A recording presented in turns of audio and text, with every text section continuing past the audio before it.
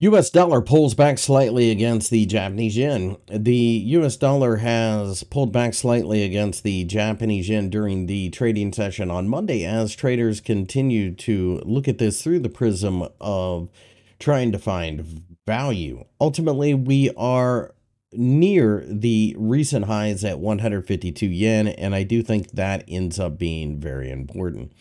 With that being the case, I like the idea of taking advantage of short term pullbacks. I think clearly this is a market that will eventually uh, do what it can to uh, break out to the upside, but that doesn't mean it happens overnight. Quite frankly, this is a scenario where traders will continue to look at this through the prism of whether or not we can stick above the 152 yen level.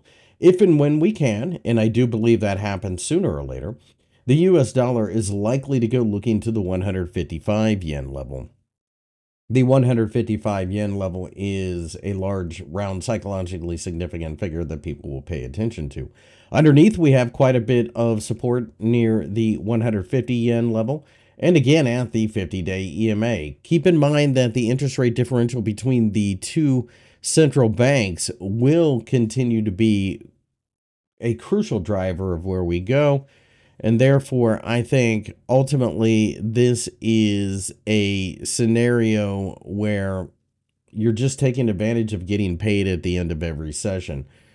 With all of that being said, I don't have any interest in shorting this pair, and I look at every pullback as a potential buying opportunity as well as a breakout above the crucial 152 yen level.